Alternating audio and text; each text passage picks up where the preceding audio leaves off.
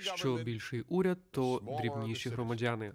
Це один з найважливіших для висновків про суспільство. Власне, саме він є головною причиною унікального успіху Америки як вільного і заможного суспільства.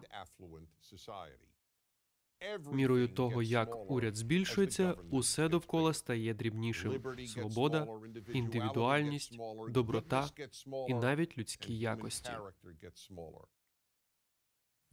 Це не політична позиція якоїсь партії, це просто наочний факт. А ще просто здоровий глузд. Ніхто не заперечує проти того, що уряд може і повинен робити певні речі. Йому багато чого треба робити. Саме уряд повинен захищати нас від нападів ззовні. Саме тому маємо збройні сили. Саме уряд повинен захищати нас від злочинців у нашій країні. Тому в нас є поліція. Так само необхідними державними установами є пожежна служба і суди.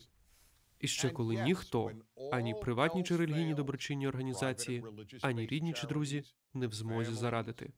І тут уряду треба бути поряд із системою допомоги останньої надії для тих, хто її потребує. Але це завжди має бути останньою надією. Бо коли уряд є першою надією, першим до кого звертаються громадяни з проблемами, тоді стаються погані речі. Коли уряд збільшується, майже все решта починає зникати. Першою, що зникає, коли уряд стає більшим аніж треба, є доброта. Саме доброта. Коли уряду більше, люди просто стають менш добрими до своїх співгромадян. Справді, навіщо комусь допомагати, якщо уряд зробить це за тебе? Саме з цієї причини, як зазначає міжнародна неприбуткова організація Фундація доброчинної допомоги, і демонструють численні дослідження, американці жертвують на допомогу іншим більше грошей і часу, аніж європейці, не кажучи вже про решту світу. Американці від самого початку зрозуміли, що уряд має бути малим, що громадяни повинні знаходити час і гроші на допомогу іншим, і що неурядові доброчинні організації мають бути великими і численними. Європейці ж зі свого боку, з їхньою філософією великого уряду, стали покладатися у допомозі співгромадянам, навіть членам власних родин, на уряд. Друге, що зменшується мірою збільшення уряду, моральні якості багатьох громадян.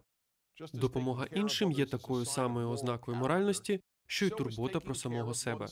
Сподівання, що інші допоможуть вам, нехай навіть ви здатні самі потурбуватися про себе, абсолютно егоїстична і за визначенням безвідповідальна річ. Далі гірше. Що більше людей сподіваються на державу, то більше в них розвивається відчуття, ніби їм винні. Відчуття мені винні це віра у те, що ти нікому нічого не винен, тоді як інші, у цьому разі держава та співгромадяни, чиї гроші підтримують державу, винні вам. Це відчуття мені винні формує дві погані риси характеру: невдячність та обурення.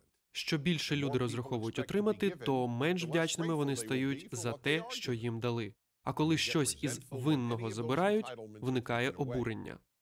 Третє, що зменшується зі збільшенням уряду свобода. Власне, це очевидно. Що більше уряду, то більше правил. Що більше правил, то менше свободи. Скажімо, у багатьох державах Європи уряди диктують власникам крамниць, коли працювати.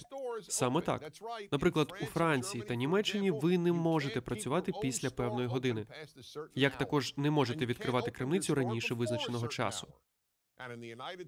У США 1936 року федеральний реєстр містив 2620 сторінок правил і нормативів, а 2012-го вже 78 тисяч 961 сторінку.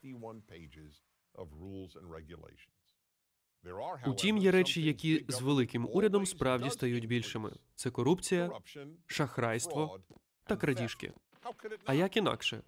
Хіба що ви гадаєте, що люди геть усі янголи, та що політична влада притягує саме янголів? Ви ж знаєте, чимало людей з майже безмежною владою і доступом до майже безмежних статків зловживатимуть тими повноваженнями. Ось з усіх цих міркувань ті, хто заснував Сполучені Штати Америки, передбачили малий уряд. І це є основною причиною, з якої Америка дала більшій кількості людей більше свободи і можливостей зажити кращим життям, аніж будь-яка інша країна. З вами був Деніс Прейгер. Якщо вам сподобалось відео від ціни держави, то ставте лайк, підписуйтесь на наш канал та натискайте дзвіночок, щоб першими дивитись нові ролики.